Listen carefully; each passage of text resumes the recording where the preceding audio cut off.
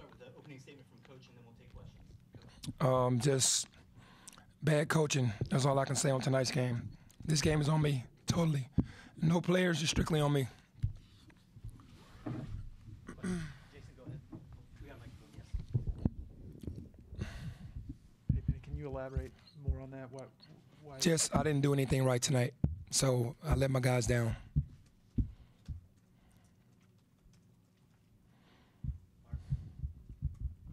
In terms of uh, when you say I didn't do anything right, like game plan or substitutions or what play call? I, I it, Just say everything. Yeah. We lost the game that we, we needed to win, and we didn't get it done. So it's on me. So, uh, having said that, like, how do you, how do you, how are you kind of digesting that, that realization? I just have to get better. I have to get better and have us prepare for Alabama.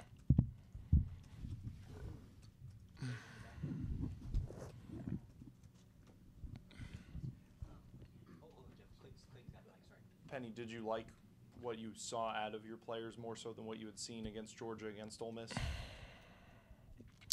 Yeah, there were some some glimpses in there in the last seven minutes of the first half. It's pretty good. In, in terms of things that you, you think you, you did wrong, is it playing too many? Earlier in the year, you said I sub too much. You know, play too many players. Have to focus on the nine or whatever it is. Do you think that gets in the way of the players knowing their roles? Uh, I don't think it gets in the way of knowing their roles. Everybody just needs to maximize their minutes. Everybody just needs to maximize their minutes. You know, our strength is in numbers, so um, everybody just needs to maximize their minutes.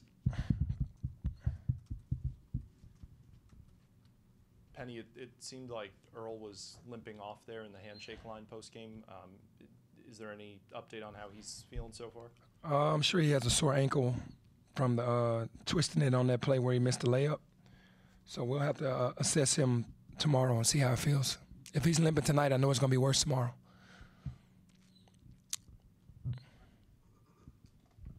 Where do you guys go from here? I mean, it's four in a row. You got two toughest game. You got your two toughest games. You know, based on ranking coming up here next week. Yeah, it's uh, it's that you just gotta gotta keep working, man. That's all we can do. All I can do as a coach is keep working. Four games in a row. You've said every speech. You said everything that needed to be said. I just have to uh, keep pushing. As the leader, I have to keep pushing us in the right direction. Frank. Penny, I know this is a low point. Have, have you reached this kind of depth before in your career as Never. a player, or um, how do you find positive energy, which is going to be so important with you know two months to play um, at this depth? I mean, it's not. There's so much going on in our country. Uh, four losses in a row is horrible for a team that shouldn't have had them, but it's not life or death. You know, we're going to go back and push. My faith in God, I understand what's going on. We just got to weather a storm, so that's what's going to push me through. But it's not like it's devastating, but it's not as serious as what's going on in our country. So I'm not I'm not trying to, you know, parallel that. But as far as getting out of a four game losing streak, I've never been here. But I do know that I'm a fighter, and uh, I'll figure it out. Steven in front. F- From your viewpoint, you guys closed the half so strong. I, I guess from your vantage point, what happened in the second half? We came out and got laxed and started taking bad shots, and wasn't playing defense. They scored like four times in a row on plays that we knew were coming. We had been guarding it great in the first half, and the second half is almost like we thought the game was over. They caught rhythm uh, and started making shots. When you let a team like that get their confidence up, uh, I saw the momentum happening. That's why I started trying to change and try to go with you know older guys in there to try to you know the guys that have won before. And it just seemed like we were playing so tight right now. That's the biggest thing for me. We're not having fun. We're playing so tight, and it's like the pressure of the world is on us. And I keep telling these guys to have fun, but it's like we can't get out of our own way. And in the first, in the second, first five minutes of the second half, we didn't get any stops.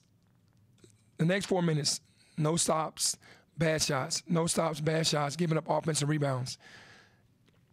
At some point, I'm just gonna have to figure out how to get this done. It's just it's just how it has to be, because there was no way, and I'm not taking any credit or anything away from Murray State. they had a great game plan. They went to their, their guns.